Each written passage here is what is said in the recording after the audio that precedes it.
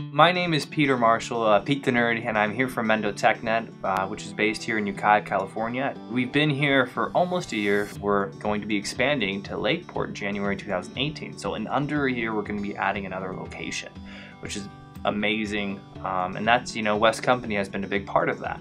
I would meet occasionally, usually once or twice a month with one of their representatives. And when I met with Steve, it helped me like, okay, these are the building blocks to get your business running.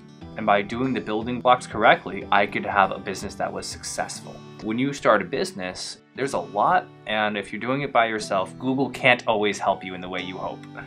So, and that's coming from a techie. You know, making mistakes isn't a bad thing, but learning how to not make them, or when you do make them, who do you call when that happens? For me, that was West Company.